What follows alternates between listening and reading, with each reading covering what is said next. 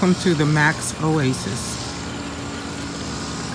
So everything that you will be seeing in this video has been done by yours truly.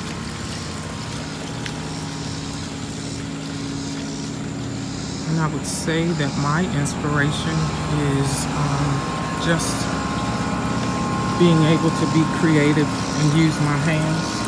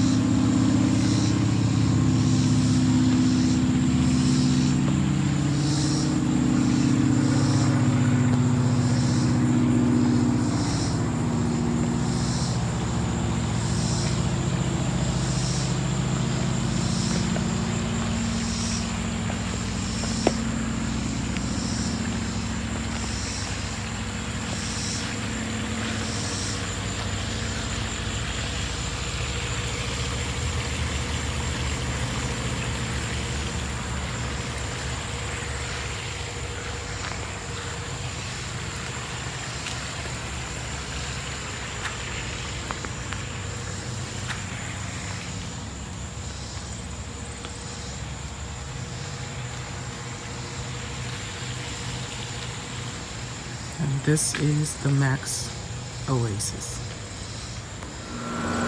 Here is Mack's Oasis at night.